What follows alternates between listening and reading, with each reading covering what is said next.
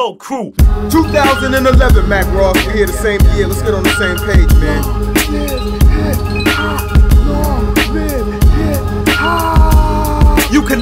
Speak how you truly feel. Feels like I'll never be free if I can't keep each and every single record real. Who cares if I don't please of my truth? I refuse to fight for the next man's title to be cool. That's why I have this power of creation to think a different way. My unique dreams and meant to obtain what another man is chasing. How can we even say hip hop is changing and defend our music's place in this world when our words are being wasted? White boy wasted, smoke, drink, drink your way and don't think. Just walk to the same beat of car speakers pump through the concrete. Follow every tweet being released. You eat shit, drink, piss, and sleep. Recycling weak energy. Your spirit's being defeated. Our meanings being defeated. Leaving history to thieves. Sampling our green to sing about the traveling penis. These are role models who we believe in. They represent the forefront of this movement we call music. It's more than entertainment and it's more than education. It's changed through the exchange of human conversation.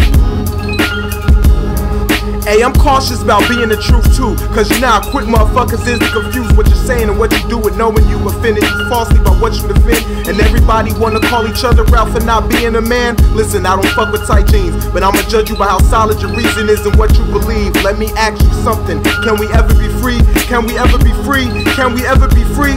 Look at things unselfishly to see what really needs to be worked on. It's not the jerk songs, the jerks who keep using that same formula. The fuck is going on? It's turning me off. Like someone curtain called independent thought behind the scenes, they don't work at all. Only the old school's gonna remind you why we do this. From Fubu's clothing line to the Zulu movement, hip hop's a nation, a multicultural unit. So quit with the bullshit and quit acting stupid. Proving that we foolish.